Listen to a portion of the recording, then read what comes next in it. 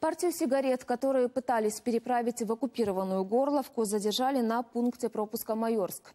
110 блоков пограничники обнаружили под, ошиб... под обшивкой салона автомобиля «Газель». Ориентировочная стоимость контрабанды – 23 тысячи гривен. Все сигареты изъяты, их передали сотрудникам фискальной службы. Водитель задержан. Еще два ящика контрафактных табачных изделий изъяли пограничники на Буковине. Товар обнаружили в приграничном поселке во время планового рейда. Двое местных жителей хранили контрафакт в багажниках своих автомобилей. Вероятно, товар планировали переправить в соседнюю Румынию. Мужчин доставили в райотдел полиции, туда же отправили иномарки и изъятые сигареты.